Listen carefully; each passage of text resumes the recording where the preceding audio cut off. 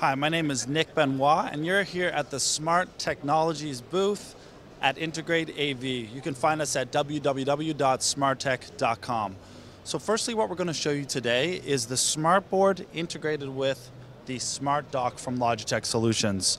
As you can see here, it's a dedicated Windows Surface Pro tablet that enables us to uh, manage our Skype for Business session from one centralized location. What I'm going to do here is just pull up my content. This can be shared in real time with users all over the planet. I can go ahead and pick up my pen, make annotations on my PDF document, and as I scroll through, these annotations actually scale with the image itself. We are not an acetate layer on top of the document, we are embedded within that PDF.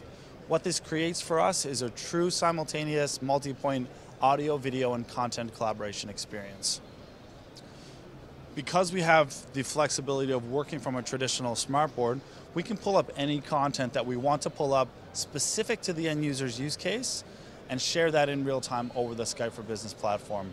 This is essentially enabling us to be productive regardless of where we are and regardless of what device we're working from.